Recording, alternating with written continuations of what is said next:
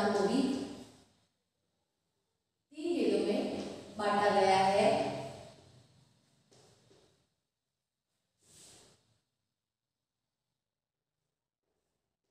Number one है उत्तम पुरुष। उत्तम पुरुष जिन सर्वनाम शब्दों का उपयोग वक्ता अपने लिए करता है, उसे उत्तम पुरुष कहते हैं।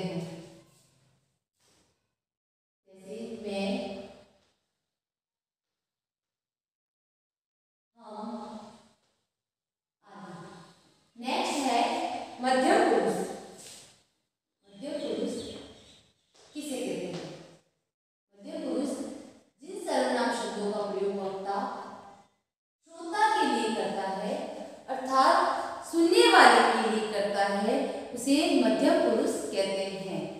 मध्यम पुरुष में है जैसे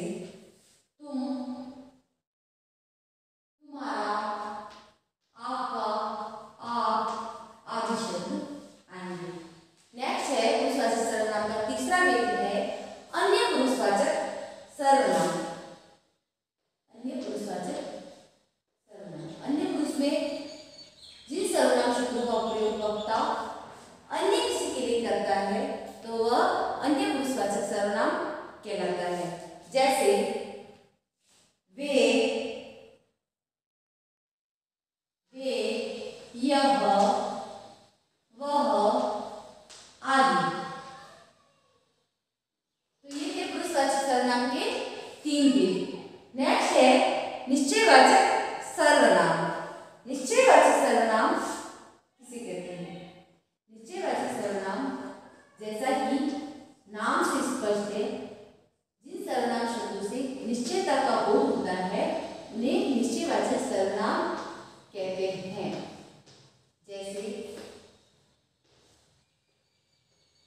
यह मेरा घर है वह पुस्तक मेरी है यह मेरी गढ़ी है आदि शब्द निश्चयता का बोध करा रहे हैं तो वह निश्चयवाचक कहलाई जैसे यह मेरा घर है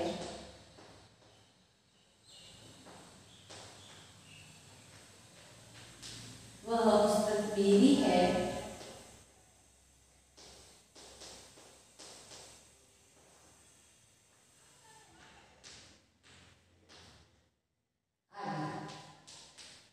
निश्चयवाचक सर्वनाम के बाद है तीसरा भेद है अनिश्चयवाचक सर्वनाम जैसा कि नाम से स्पष्ट हो रहा है निश्चयता का बोध नहीं कराने वाले शब्द। अनिश्चयवाचक सर्वनाम कहलाते हैं। ये शब्द जो निश्चयता का बोध नहीं कराते हैं अनिश्चयवाचक सर्वनाम कहलाते हैं। जैसे, अंदर कोई है अंदर कोई है अंदर कौन है यह स्पष्ट नहीं हो पा रहा है तो यहाँ अनिश्चयवाचक सर्वनाम शब्द कहलाएँगे अंदर कोई है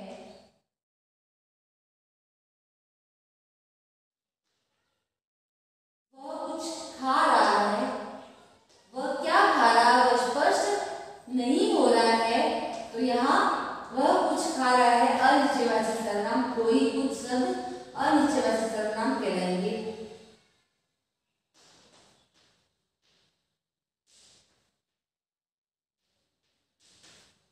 नेक्स्ट है सर्वनाम का चौथा भेद है संबंधवाचक सर्वनाम। संबंधवाचक सर्वनाम किसे कहते हैं? संबंध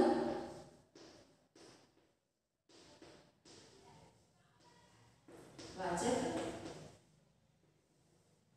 सर्वनाम।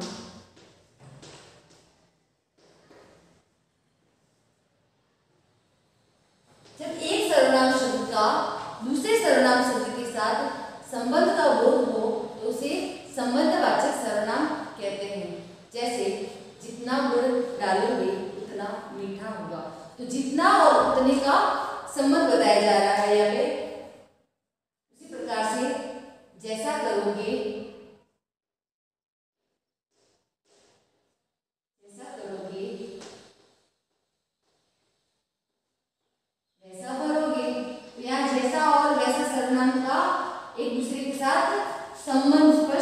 हो रहा है, जैसा करोगे वैसा भरोगे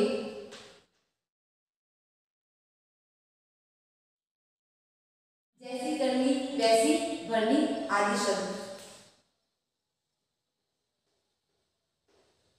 तो यहाँ एक सर्वनाम का, उसी सर्वनाम के साथ संबंध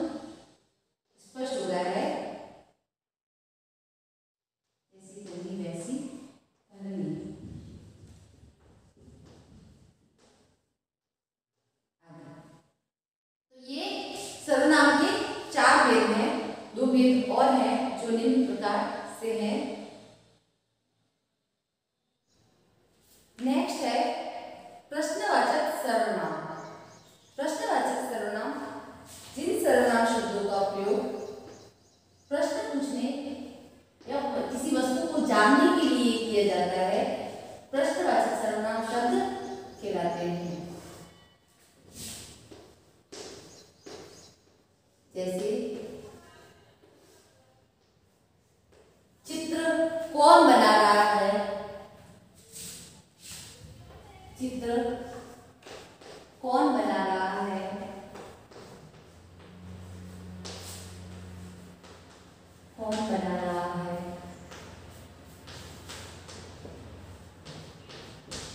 तुम कहाँ गए थे?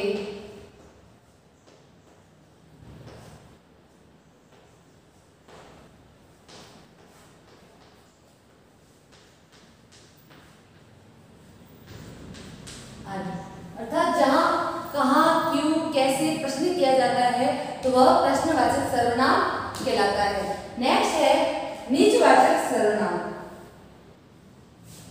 निजवाचक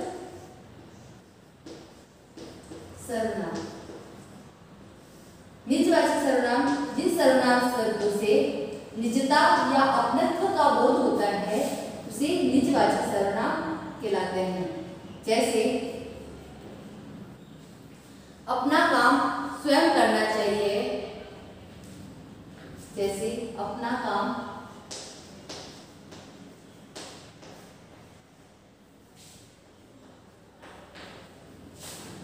स्वयं करना चाहिए।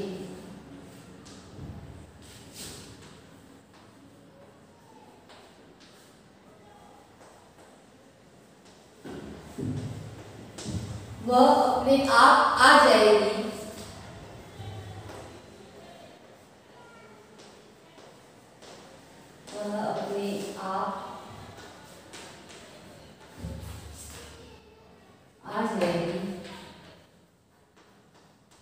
तो वे शब्द जो निजता का, अपनत्व का बोध कराते हैं निजवाचक सर्वनाम कहलाते हैं। तो यहाँ हमने सर्वनाम की परिभाषा और सर्वनाम के छह भेदों के बारे में जाना। नंबर वन का पुरुषवाचक सर्वनाम, निश्चयवाचक सर्वनाम, अनिश्चयवाचक सर्वनाम, संबंधवाचक सर्वनाम और प्रश्नवाचक सर्वनाम और निजवाचक सर्वनाम। तो ये थे सर्वनाम के छह भेद। धन्यवाद।